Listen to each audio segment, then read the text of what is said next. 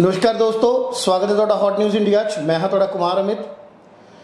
ਦੋਸਤੋ, ਗੱਲ ਕਰੀਏ ਜਲੰਧਰ ਦੇ ਜ਼ਿਲ੍ਹਾ ਪ੍ਰਬੰਧਕੀ ਕੰਪਲੈਕਸ ਦੇ ਵਿੱਚ, ਜਿੱਥੇ ਰੋਜ਼ਾਨਾ ਸੈਂਕੜੋ ਦੀ ਗਿਣਤੀ ਦੇ ਵਿੱਚ ਲੋਕ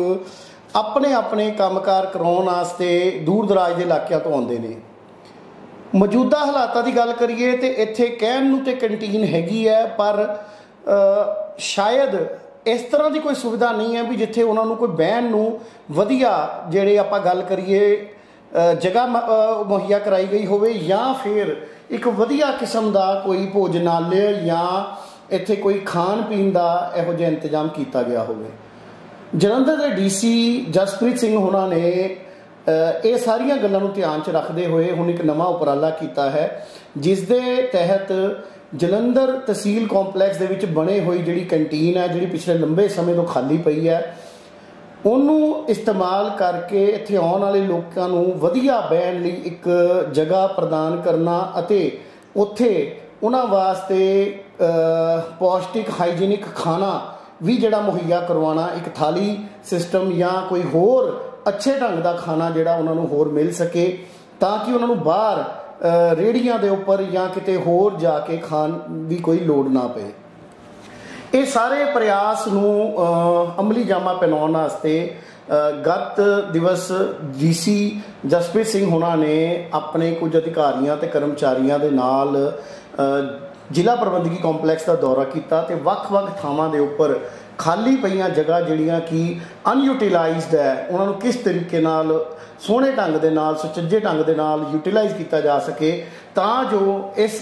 ਜ਼ਿਲ੍ਹਾ ਪ੍ਰਬੰਧਕੀ ਕੰਪਲੈਕਸ ਵਿੱਚ ਆਉਣ ਵਾਲੀ ਆਮ ਜਨਤਾ ਨੂੰ ਬਿਹਤਰ ਸੁਵਿਧਾਵਾਂ ਪ੍ਰਦਾਨ ਕੀਤੀਆਂ ਜਾਣ, ਉਸ ਲਈ ਉਹ ਸਾਰੀਆਂ ਜਗ੍ਹਾ ਦਾ ਜਿਹੜਾ ਮੁਆਇਨਾ ਕਰਕੇ ਜਾਇਜ਼ਾ ਲਿਆ ਔਰ ਆਪਣੇ ਅਧਿਕਾਰੀਆਂ ਨੂੰ ਇੱਕ ਰਿਪੋਰਟ ਤਿਆਰ ਕਰਨ ਲਈ ਕਿਹਾ, ਤਾਂ ਜੋ ਇੱਥੇ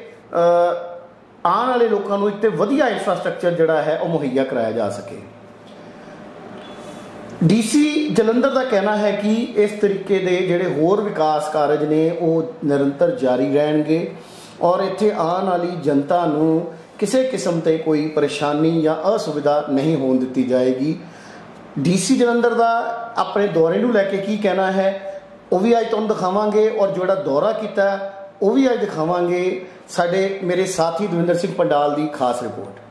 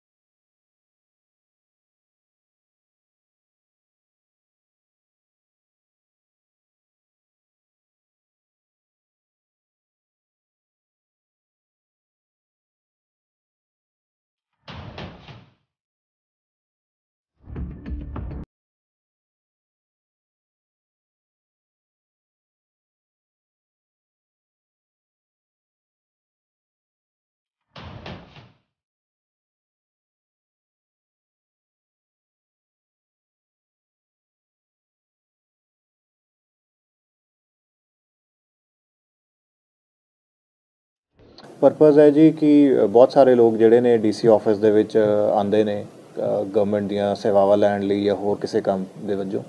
ਤੇ ਉਹਨਾਂ ਨੂੰ ਪ੍ਰੋਪਰ ਇੱਕ ਬੈਠਣ ਦਾ ਥਾਂ ਹੋਵੇ, ਕੋਈ, ਜੇ ਉਹਨਾਂ ਨੇ ਕੋਈ ਰਿਫਰੈਸ਼ਮੈਂਟ ਲੈਣੀ ਹੈ ਕੈਂਟੀਨ ਹੈ, ਉਹ ਸਾਰੀ ਚੀਜ਼ਾਂ ਦੇ ਇਵਜ ਦੇ ਵਿੱਚ ਅੱਜ ਦੀ ਵਿਜ਼ਿਟ ਸੀਗੀ। ਸੋ ਅਸੀਂ ਪਲਾਨ ਕਰ ਰਹੇ ਹਾਂ ਕਿ ਜਿਹੜਾ ਆਲਾ ਦੁਆਲਾ ਹੈਗਾ ਡੀਸੀ ਆਫਿਸ ਦਾ, ਉਹਨੂੰ ਥੋੜਾ ਸਾਫ਼ ਸੁਥਰਾ ਕੀਤਾ ਜਾਵੇ ਤਾਂ ਕਿ ਜੇ ਕੋਈ ਇੱਥੇ ਆਂਦਾ ਵੀ ਹੈ ਤਾਂ ਤਰਤੀਬ ਵਾਈਜ਼ ਉਹਦੇ ਕੋਲ ਪਾਰਕਿੰਗ ਦੀ ਸਪੇਸ, ਉਹਦੇ ਕੋਲ ਖਾਣ ਪੀਣ ਲਈ ਕੋਈ ਸਪੇਸ ਹੋਵੇ ਤੇ ਥੋੜਾ ਸਾਫ਼ ਸੁਥਰਾ ਲੱਗੇ ਉਹਦੇ ਰਿਗਾਰਡਿੰਗ ਵਿਜ਼ਿਟ ਬਹੁਤ